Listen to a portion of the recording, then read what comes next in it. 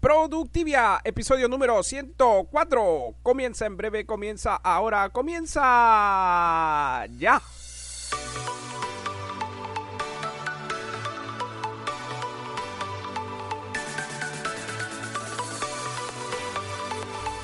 Hola, hola, hola, hola, qué gusto saludarte y darte la bienvenida una semana más a Productivia. Como siempre, desde aquí, desde cabina, te saluda Walter Novoa, conductor de este podcast. Y recuerda que también me vas a poder encontrar en las principales redes sociales como Walter Novoa Oficial, la cual es mi marca personal. Y por supuesto también que en nuestro blog, el cual puedes visitar en www.walternovoa.com.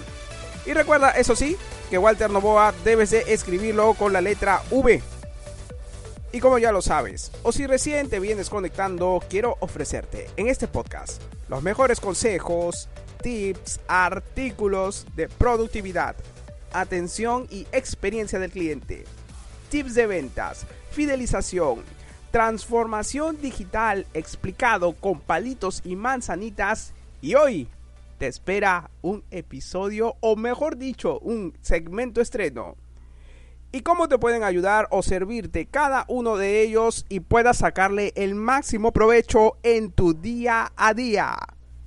Tal como lo había anunciado. Hoy le vamos a dar la bienvenida a nuestra nueva sección o nuestro nuevo segmento estreno, la cual es ventas para no vendedores. Tal como su nombre lo dice. Y sin más. Y así medio gripado como me ha pescado este episodio, pero recuerden muy bien que venimos de estreno en estreno para nuevos segmentos y nuevas secciones. Y quiero empezar haciendo la siguiente pregunta. ¿Un vendedor nace o se hace? Porque dime tú, ¿cuántas veces en tu vida has vendido algo? Aunque sea algo mínimo, ¿eh? o a tus familiares o a tus amigos, ¿qué importa? ¿O cuántas veces has vendido algo, ya sea por internet, ahora último? Y todo esto, ¿te ha costado mucho esfuerzo?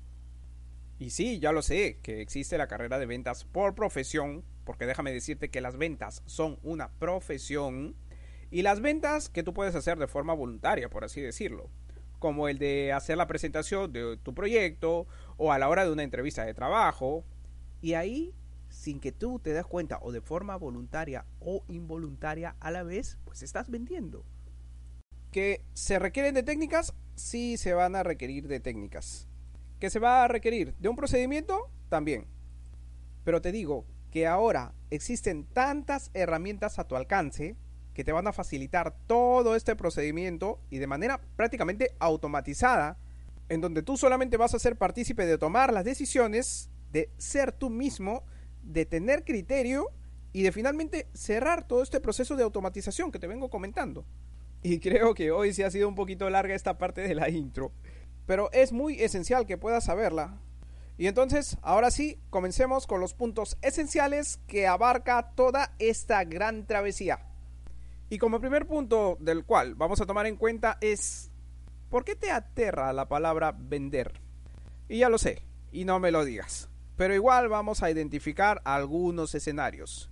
Y lo primero que se me viene a la mente, o las respuestas más habituales, son las de, nadie me va a comprar, todo el mundo te va a decir que no, me van a tirar la puerta por la cara, me van a colgar el teléfono de una, si no vendo nada, capaz me van a echar y de qué voy a vivir. Entonces, una vez ya identificados estos factores, van a ir de la mano con este otro punto, que al final los vamos a enlazar con el punto anterior, ¿ok? Y el otro punto, ¿cuál sería? ¿A qué te dedicas? Sí, así tal como suena. Porque ya sea que tengas una profesión o un oficio, o seas emprendedor, o inclusive si eres estudiante, igual estás vendiendo. Y te voy a poner el primer ejemplo. Si yo voy a un doctor, entro en su consultorio y veo todas sus diplomas y todo lo demás, pero muy aparte del diagnóstico que me va a hacer, tomo muy en consideración el trato hacia mí, o sea, el trato hacia el paciente. Y si por ahí el médico lo acompaña de una que otra historia o me habla de un caso similar al que yo tengo o al que yo he tenido, pues está vendiendo de forma inconsciente. Inclusive, si en el tratamiento me ha ido muy bien y me ha curado muy bien encima, pues ya se ha ganado a un paciente fiel. Ni pensarlo dos veces. Y la clínica también se ganó a un buen cliente. Y además, y como un plus, si establecen constante comunicación contigo los médicos o ese médico en particular, como por ejemplo enviarte tus diagnósticos o mis diagnósticos o mis resultados vía correo electrónico o por cualquier otra vía, pues qué mejor forma de vender, tanto por parte del doctor como de la clínica, y simplemente haciendo su labor habitual, o a lo que un médico se dedica. Y vamos a ver este otro ejemplo, a ver, si yo contrato a un freelance, lo primero que veo son sus calificaciones y sus reseñas. Y enseguida también le pido que me envíe todo su portafolio. Y si por iniciativa propia el mismo freelance se comunica conmigo por cualquiera de las vías de comunicación, ya sea a través de la, de la misma plataforma de contrato o a través de WhatsApp o establecemos una videollamada, pues excelente. ¿Y qué mejor forma de estar vendiendo sus servicios, no creen? Simplemente haciendo lo que realmente sabe hacer y aprovechando los recursos y herramientas que tenemos hoy en día. O si voy y me presento una entrevista de trabajo, el ejemplo más clásico. Pues ahí al hablar con tu entrevistador, pues vienes vendiendo todo tu expertise y toda tu trayectoria. Además siendo tú mismo, de forma sincera y correcta y a modo de una conversación, pues ante ese escenario y aunque no lo creas, también estás vendiendo. Y ante todos esos ejemplos y escenarios, ¿te has dado cuenta de algo? Que tiene que ver mucho con tu vocación. Pero ahora sí, ya que tenemos aterrizado todo el terreno, ¿qué vamos a aprender en esta nueva sección? Para que puedas vender sin ser vendedor y simplemente dedicándote a lo tuyo. Primero, y lo esencial para que puedas tener en cuenta de que las ventas de hoy en día no requieren que vendas convenciendo, sino más bien convirtiendo y siendo tú mismo. Y para esto iremos analizando desde tu perfil en redes sociales, tu presentación o lo que quieras compartir simplemente. También que conozcas todas las herramientas que tienes a tu favor hoy en día para que vendas sin que seas un vendedor. Además, para que puedas aprender y conocer también cómo puedes promocionarte o ser más conocido en tu ámbito o en tu región y en las redes sociales sobre todo. Y cómo puedes sacar el máximo provecho a tu comunicación con herramientas efectivas, las cuales también van a favorecer mucho a tu networking y a tu comunicación. Porque tu comunicación es muy esencial y eso quiero que no te olvides. También que estaremos abarcando éticas, diplomacia y sinceridad para tus ventas. O sea, los puntos sobre las IES desde el inicio, desde el vamos. Y todo lo esencial para que puedas vender sin requerir de grandes técnicas o a modo que te quites de la cabeza el concepto de que las ventas no son el último eslabón de la cadena alimenticia. O que me digas que yo no he nacido para vender. Pues, ¿qué te parece? Así que anda preparándote para este gran contenido del cual también es muy esencial que lo puedas poner en práctica.